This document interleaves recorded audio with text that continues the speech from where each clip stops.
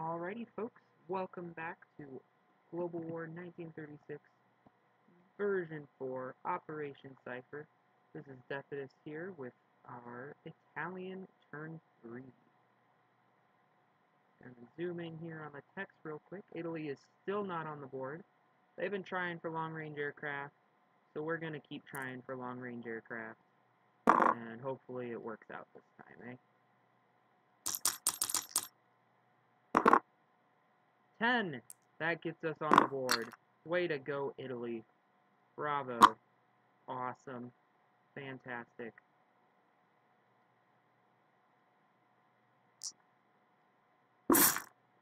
Alrighty. Next up, we're going to move to our purchases phase. Italy has $10 to spend. There they are. Not $10, $16. I had a little oopsie.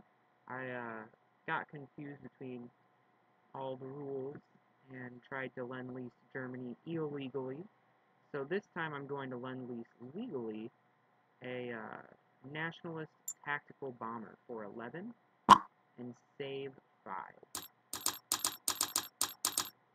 Yeah, that's it's an expensive buy. Uh, I might be screwing Italy over in the long run by doing this, but um, shoot, fam.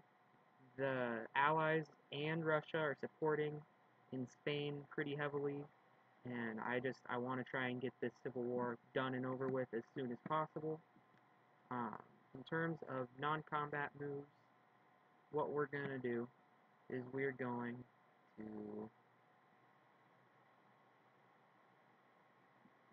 uh, we're going to take this seaplane in Rome, move it one, two, and drop it in Sicily.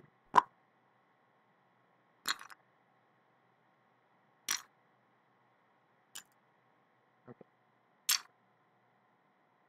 And then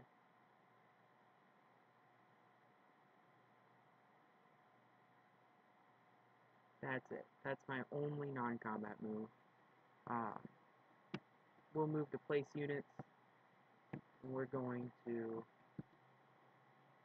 take this tactical bomber and we're going to drop it back here in Galicia, Lyon. Uh, so now there's a tactical bomber and two fighters and a mountain infantry in that. Alright, quick and easy turn. Thank you very much, folks, and I will see you for the German turn.